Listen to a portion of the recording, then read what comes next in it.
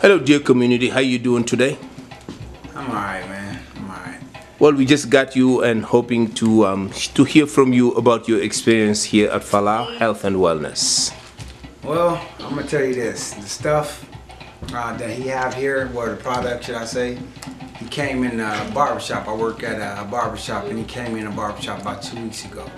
And uh, this is a good guy right here. He gave me some products, and it helped me to get mind, body, and soul.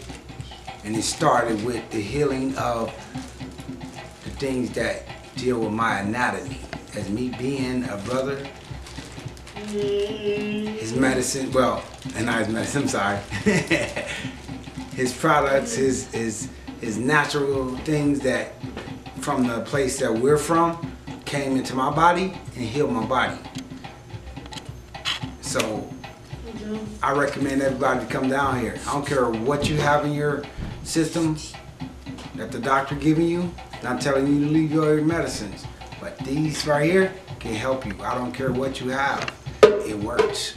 Thank you, and brother. I mean, thank you so much. And just for um, just for um, for our community members to know, how was the pricing? I mean, was this a big rip off you, of your pocket? No, no, no. The pricing was good. I uh, I spent about thirty bucks, and you can't put a price on your health because you can have all the riches of the world, but you your health ain't right.